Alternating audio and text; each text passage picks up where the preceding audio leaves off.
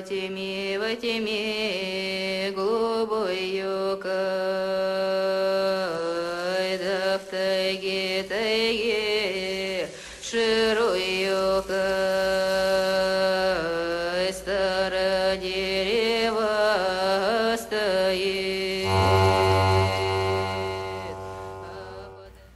Hey guys, today I want to have a look into water towers. There's so many amazing, monstrous, beautiful structures, and one thing they have in common, which should not be a surprise to us all, to us all the one thing that they have in common is that most of them were built in one year. So let's just check out these beautiful structures and yeah, have a look into how and when they were built. Unfortunately, the most information I found on a lot of them um, is in German, but yeah, I'm just gonna just gonna tell you what it says here. So this beauty, it is situated in Breslau, and yeah, it was built in the year of 1905 out of red brick. Here, this is it. A lot of them resemble castle like style. Just amazing. Next up, we have this beauty. It is situated in Vienna, Austria. This is how it looks. Again, we see this typical style.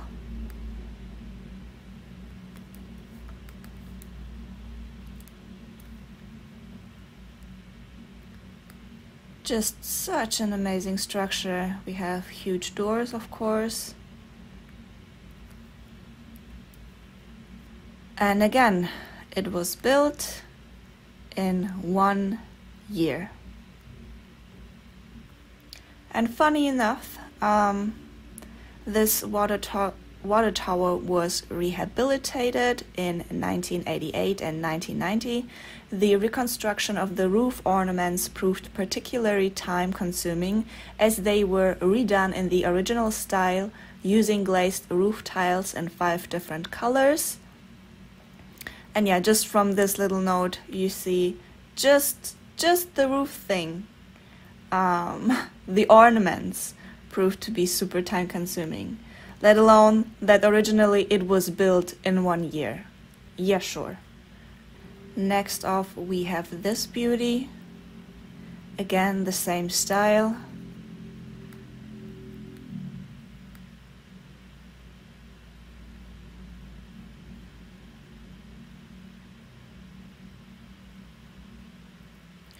It says that specific construction works were carried out between 19, 1898 and 1899. Again, one freaking year.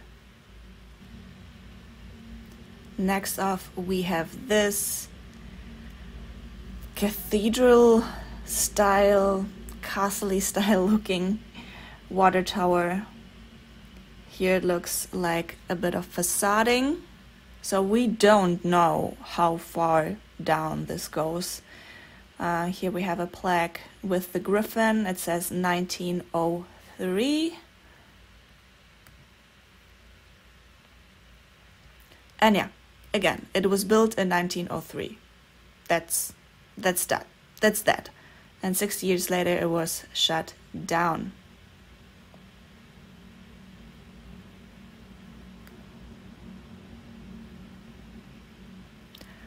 On construction what they say is just that it was the base was made out of natural stone and the structure out of brick. Then they just describe you know the the the details on what is in there. Nothing on the actual construction. Next off, we have this very interestingly looking tower in Germany.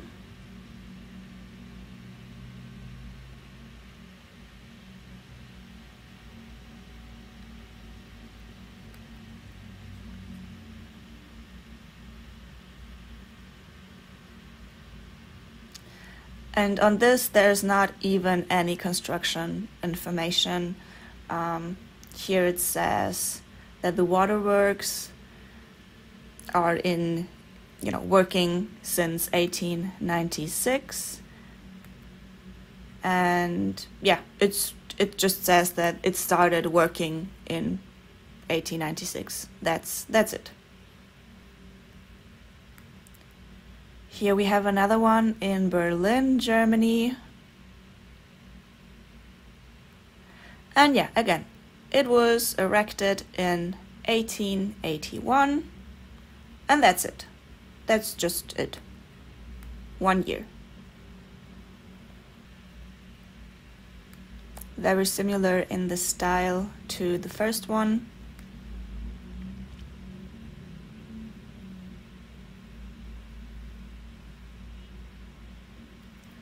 and again built from 1904 to 1905 one frickin' year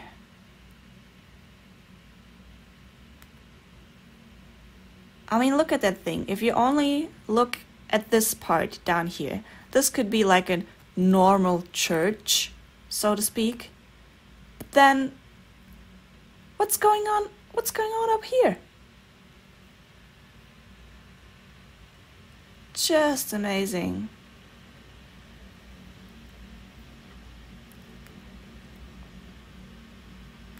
Another one in Germany.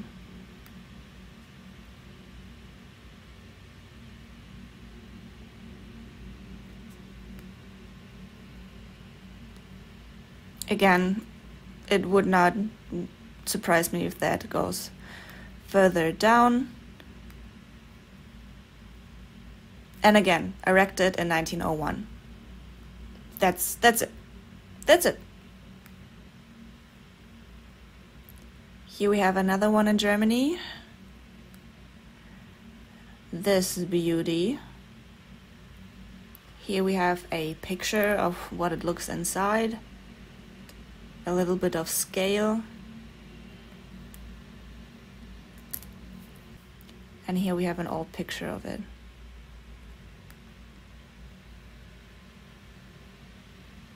just mind boggling.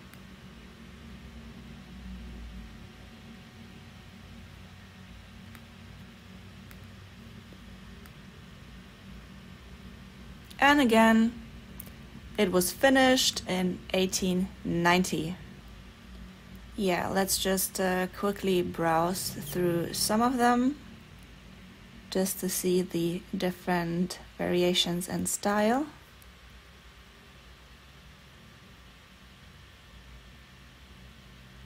And they remind me of watchtowers, for sure. Really interesting entrance here. Maybe a later on addition. Maybe this all were just windows. And this thing is way higher originally.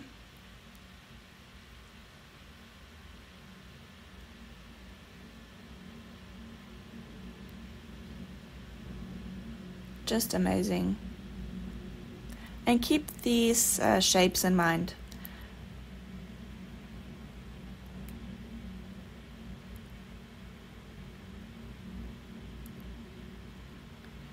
Just beautiful. This one is in Barcelona. Interesting modern antenna on top on here, of here. A lot of antennas actually.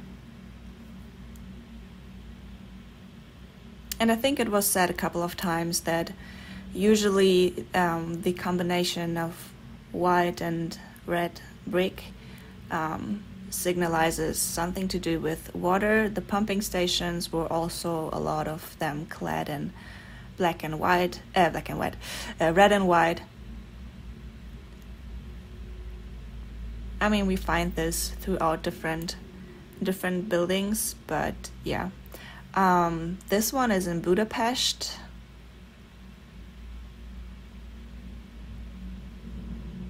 Another wonderful one. Interesting, they have these similar entrances. Um, what is it called? A, a portico? I'm not sure. you know, the triangle on top, and yeah, they seem to have these temple, temple-ish entrances.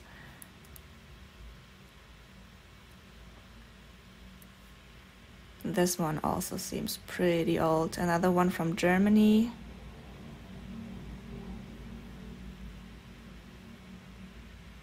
Just amazing. These are so massive. Another one from Germany.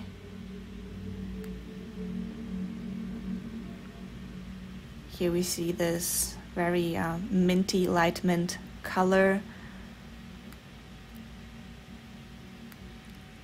From the old world, old world.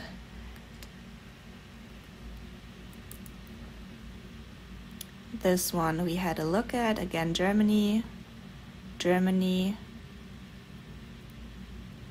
Germany.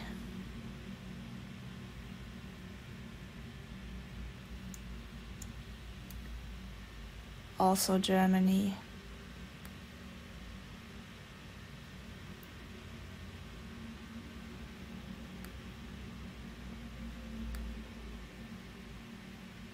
I mean, they were not only holding water in there, they were also distribute distributing, they say, the water through gravity things. Um, so it was not only a holding place for water, but it also was like a hydraulic system. Another one in Germany. Here we have one from Holland.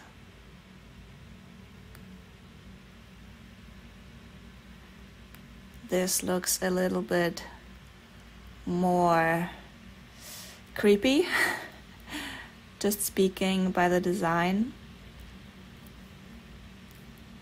It reminds me of the industrial um, brick structures in old Germany. I think I covered them in my and some of my videos I made about the dystopian architecture or architecture of doom. Yeah, this one is in Madrid, This one is in Minsk. We have a similar similar one here in in the capital of Moldova. Netherlands seems like a smaller one. Poland, they really like these very tall, um, square shaped columns. Just amazing.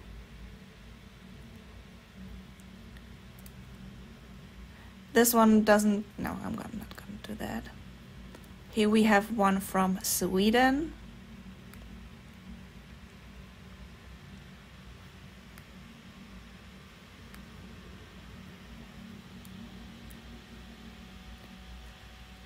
One from the UK.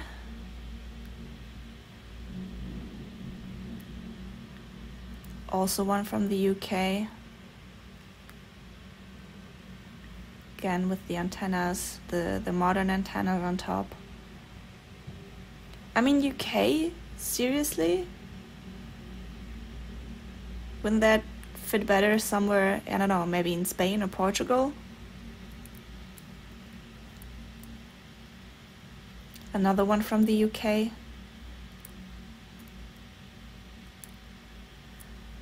Here we have a, I don't know, this looks, this reminds me of Disney. here we have one from the USA.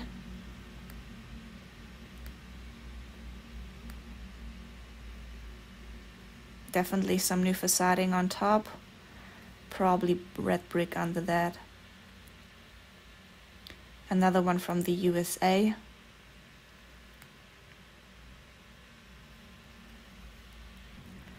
So that makes me wonder about tower like structures from other places in the world.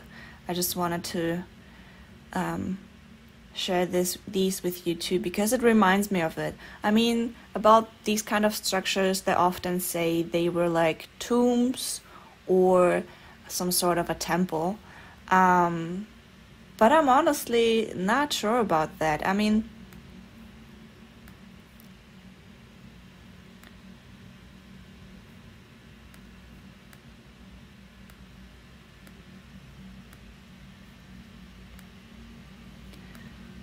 Look at this one from Berlin.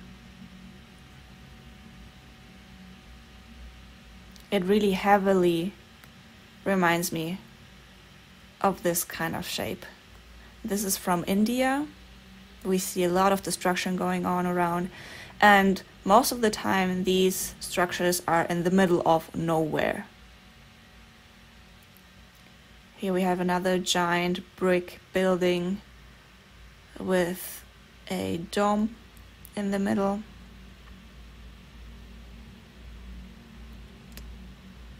This one is from Azerbaijan.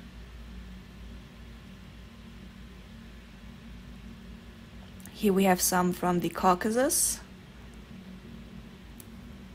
Again, really interesting shape on top here. This one looks more um, angular. These look a little bit rounded.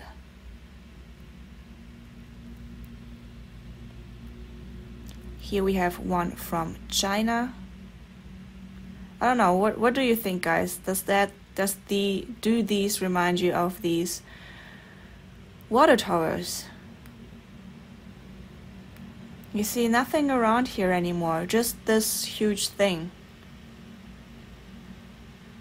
there are probably some um, what what is now tunnel systems, um, like water systems underneath that to distribute the water.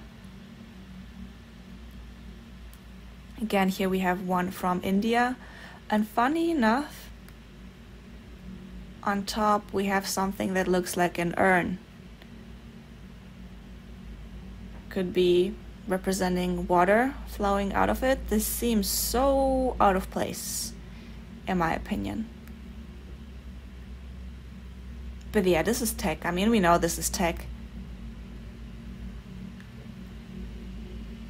And this is probably not the base of it. Just stones, like building materials basically, lying all around here.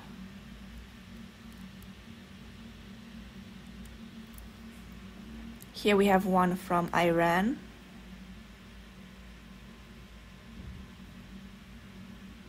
They look so similar to the dystopian ones just because of the angular um, style here. But yeah, these to me scream water towers. Here we have one from Iraq. Again, just rubble all around here. Probably from the other destructed um, buildings. Here we have one from Iraq. Just this little guy on his horse, this thing standing in the middle of nowhere. And what's fascinating is is that it doesn't seem to be hollow inside, so I don't know about that. But this also reminds me um, of the Tower of Babel kind of just swirling around. Maybe the Tower of Babel was a water tower. Who knows? Maybe it was a petrified tree stump that they, you know, made into this tower. Who knows? Here we have another one from Iraq, and just the intricacy of, of using this building material. Here it's all bricked up random little column lying around here and again just the rubble all around. Here we have another one from Iraq. Windows bricked up completely destruction all around. You find nothing. Base heavily or yeah that part that sticks out of the ground probably heavily damaged but it's still standing. Here we have one from Yemen. And we can see definitely here brickwork, huge dome in the background, some stones probably put in here to stabilize it maybe. Or maybe that's the the base but it looks a bit short to be honest